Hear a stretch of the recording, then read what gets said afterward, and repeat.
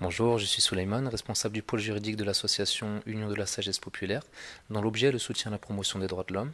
Nous soutenons actuellement des cheminots de la SNCF ayant été victimes de violences psychologiques, de l'ordre du harcèlement moral, des discriminations et du racisme. Je vais vous laisser le soin de vous présenter. Bonjour, David Lazarus, maire de Chambly depuis 2013. Euh, J'ai 44 ans. Enchanté. Quel est votre sentiment concernant le racisme et les discriminations dans leur généralité?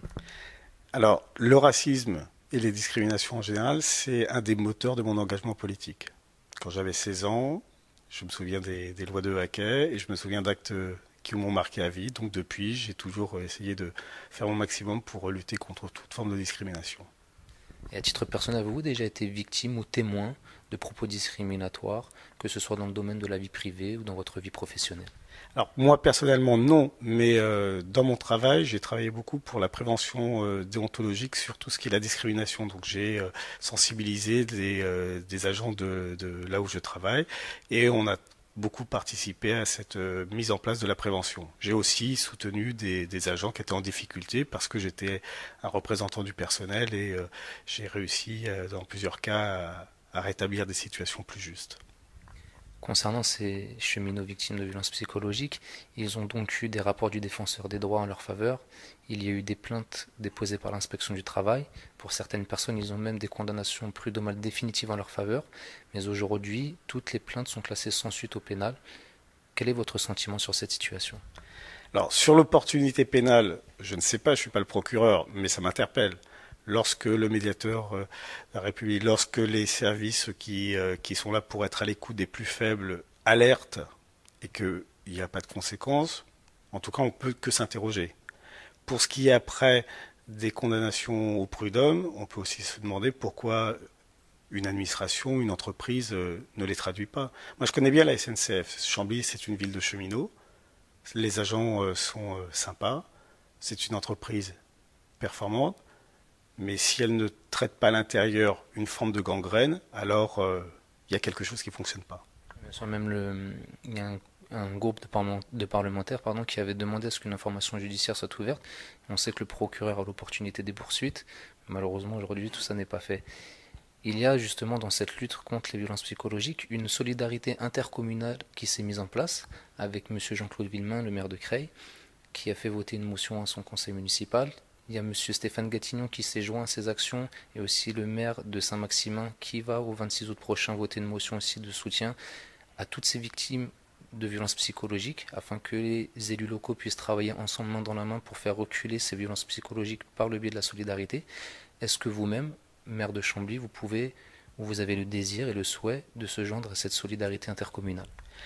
Moi, je crois qu'il faut qu'on mette toute la République derrière ce combat-là. Bien sûr, en tant qu'élu local, au quotidien, je me bagarre contre la discrimination. Je prendrai contact avec mes collègues de l'Oise pour voir comment on peut, au niveau de l'association des maires de l'Oise et plus haut au niveau de l'association des maires de France, sensibiliser.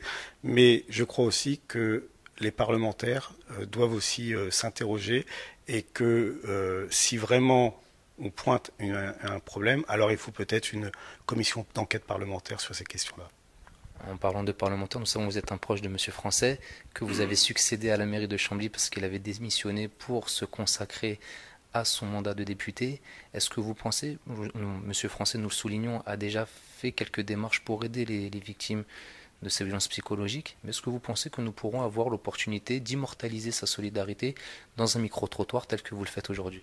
Là, euh, moi, Michel Français euh, n'est pas là en ce moment, mais je le connais euh, et je sais à quel point c'est quelqu'un qui est sensible à tous ces combats-là et je suis sûr qu'il sera toujours présent à vos côtés et aux côtés surtout de toutes les victimes.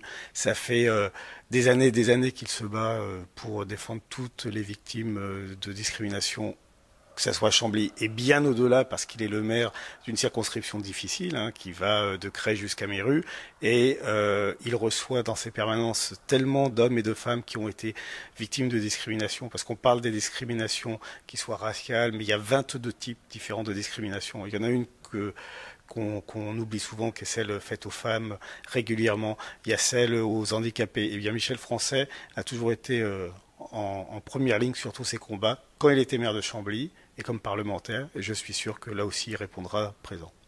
Et d'une manière générale, quelles sont vos préconisations afin que de tels dysfonctionnements institutionnels ne puissent punir à des citoyens français à l'avenir et que les mentalités puissent évoluer vers un climat beaucoup plus tolérant vers la différence? La première chose, c'est la prévention, la formation. C'est dans les écoles que ça, ça doit commencer. C'est vraiment le, le béaba. C'est faire que nos enfants soient euh, sensibilisés dès le départ. La deuxième chose, c'est que dans le cadre du monde professionnel, il faut faire ce que dans mon administration on a mis en place, c'est-à-dire des formations obligatoires pour tous les agents et Troisième chose, il faut un numéro d'appel, un numéro vert, qui permette à chaque personne victime ou qui se sent victime de pouvoir contacter une cellule de façon anonyme. Comme ça, cette personne-là n'aura plus la peur et ne se sentira pas obligée de se taire. Si on ne donne pas aux gens les moyens aussi de saisir une structure extérieure, alors euh, il y a beaucoup de victimes qui sont victimes non seulement des autres, mais de leur propre peur. Donc il faut vraiment se donner tous ces moyens-là.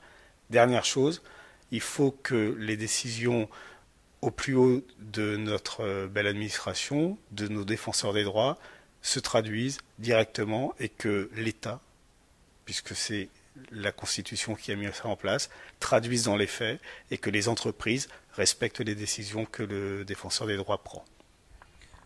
C'est très aimable à vous et c'est très valeureux de nous manifester cette solidarité. Mais pour le protocole entre guillemets classique, je vais vous poser ma dernière question qui est ce que nous pouvons compter à l'avenir sur votre solidarité physique et morale?